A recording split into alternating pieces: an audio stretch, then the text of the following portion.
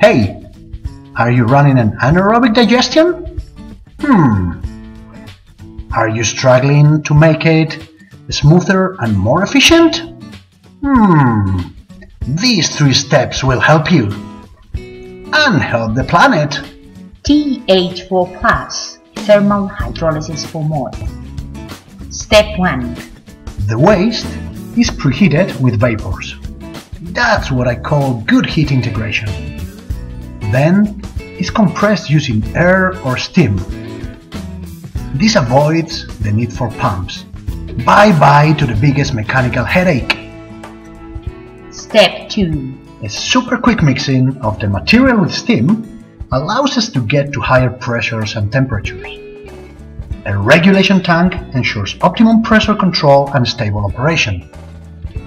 And finally, step 3. The waste is flashed, breaking the cells. The final product is sent to anaerobic digestion. A thermocompressor recovers vapors, sending them back to step 1. And voila! That wasn't so difficult, huh? Let's recap. Step 1 was the feed conditioning, Step 2 was hydrolysis with a super quick mixing, and step 3 was the flash and heat recovery. Great! And what are the benefits? You get more biogas, less sludge and stable. You avoid the problems of batch processing, your anaerobic digestion will be smoother and with higher capacity. Sounds perfect! Wait, there's more.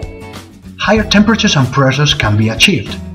There is no need for pumps, making the plant cheaper to run and more reliable. It's heat integrated for top energy efficiency.